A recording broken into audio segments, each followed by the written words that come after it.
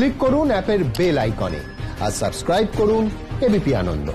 সব সময় থাকুন খবরে। দমদম সেভেন ট্যাঙ্কস এলাকায় সিআইটি আবাসনে আগুন। সকাল সাড়ে এগারোটা নাগাদ সিএসসির ওয়্যার হাউসে আগুন লাগে, দ্রুত তা ছড়িয়ে পড়ে। বিস্তারিত জানিয়েছেন আমাদের প্রতিনিধি আবির দত্ত। আমরা দাঁড়িয়ে রয়েছি ষোলো নম্বর দমদম রোডের কাছে। এখানে সিএসসির একটি ওয়্যার হাউস ছিল। সেই ওয়্যার হাউসে আগুন লাগে এবং এই আগুন এক প্রকার পাশের যে ঘর, সেখানেও ছড়িয়ে পড়ে। এখন দাহ্য পদার্থ এখানে যথাযথ রয়েছে। দেখা যাচ্ছে যে এখানে পিচবোর্ড জাতীয় দ্রব্য যেমন রয়েছে, তার সঙ্গে সঙ্গে এখানে কয়লা জাতীয় দ্রব্য রয়েছে।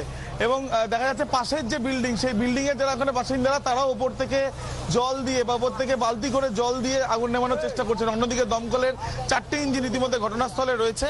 এই আগুন লেগেছে কীভাবে সেটা নিশ্চিতভাবে বলার জন্য আরও তদন্ত করে দেখতে হবে এমনটাই দমকলের তরফ থেকে বলা হচ্ছে। তবে এই ঘটনায় যুদ্ধকালীন তৎপরতায় আগুন নিয়ন্ত্রণের কাজ ইতিমধ্যে চলছে।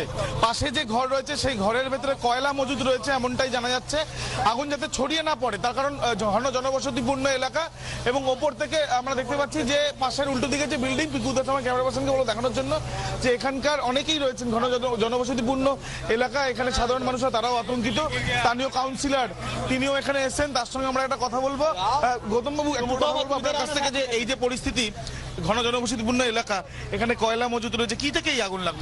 না, কয়লা হয়তো আমরা, কয়লা বিক্রি করে এখানে আমি এখনও পুরো ডিটেলসে জানি না, দমকল বাহিনী দেখছে, আগুন লাগার সাথে সাথে দমকল বাহিনীর তৎপরতা এবং এলাকার মানুষ, প্রশাসনিক তৎপরতায় আগুন কন্ট্রোল হয়ে গেছে, আগুন নিভে গেছে।